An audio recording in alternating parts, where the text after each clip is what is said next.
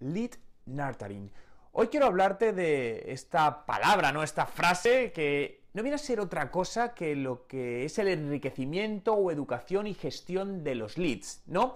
Entendiendo por lead un dato de alguien que puede ser un potencial cliente, es decir, y además tiene sus datos de contacto mínimo, un nombre y un email para poder contactar con él. Pero el lead nurturing realmente eh, me gusta definirlo como un proceso de comunicación continua con tus potenciales clientes y con tus clientes para llevarlos a lo largo de el embudo de conversión, el embudo de ventas que tengas definido en tu empresa, que puede ser, pues, eh, de distintas maneras. Puedes tener tres fases, seis fases, ocho fases. Pero al final es llevarle a lo largo de todo ese embudo para conseguir la conversión. Y personalmente me gusta dividir toda esta parte de, pongamos, nurturing, ¿no? Es la parte de enriquecimiento del usuario, ¿no? De los potenciales, en dos partes, lead nurturing y customer nurturing, porque no debe ser la misma estrategia.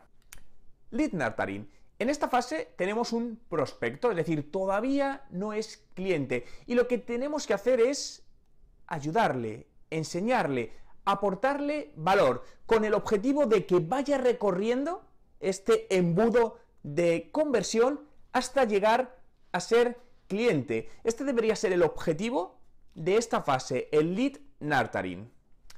El siguiente sería el customer nurturing. Aquí ya es cliente. Este lead ha convertido y ya tenemos un cliente. Bien, pero el objetivo de esta fase es seguir aportándole valor con contenidos y hacer que siga recorriendo este embudo de ventas y de conversión hasta conseguir que sea un cliente fidelizado, un brander, es decir, un cliente que además recomiende tu marca. ¿Con esto qué vamos a conseguir? Vamos a conseguir reducir el ratio de abandono de clientes.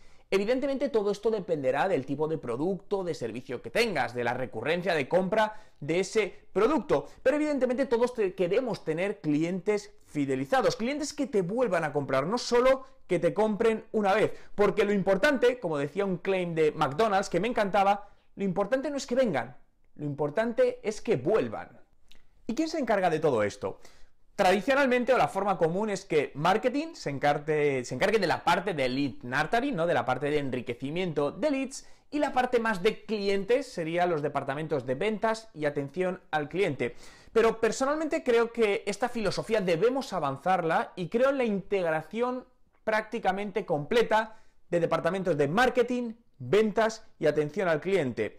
Por lo que no hablo de lead nurturing o customer nurturing, hablo de nurturing, enriquecimiento a ese usuario. Y ese usuario puede estar en distintas fases. Insisto, una primera fase que todavía no es cliente, pero una fase que es cliente. Y cada una tendrá su estrategia distinta. Y para que realmente esto sea 100% efectivo, estos tres departamentos, marketing, ventas y atención al cliente, tienen que estar perfectamente alineados. No me atrevo a decirte que llegue a ser el mismo departamento, que por qué no, podría ser, pero si no, que estén perfectamente alineados. Resumiendo, piensa en enriquecer a ese usuario. Por lo tanto, crea una estrategia de lead nurturing, de customer nurturing, de enriquecimiento a ese usuario dependiendo en la fase que esté. Y segundo, esa estrategia debe estar basada en contenidos. Contenidos no 100% comerciales, cuidado con esto. De hecho, me atrevería a decir que un 80% de contenidos deben ser no comerciales, es decir, contenidos educacionales, de aportación de valor, de enseñanza, combinados con un 20% de contenidos comerciales en distintos momentos de esa fase de, nutrición, ¿no? de lead o customer nurturing. Por lo tanto, piensa en ello, siéntate, un papel, un boli, tu ordenador delante y traza la estrategia en función de tu producto, de tu servicio, de tu cliente, para enriquecerle, ayudarle y hacer que tu embudo de conversión, tu embudo de ventas, sea prácticamente perfecto para las distintas fases de tu cliente.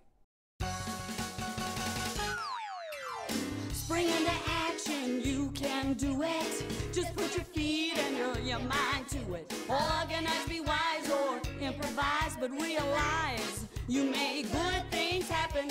Challenge yourself, develop your mind, exercise your muscles, take charge and you'll find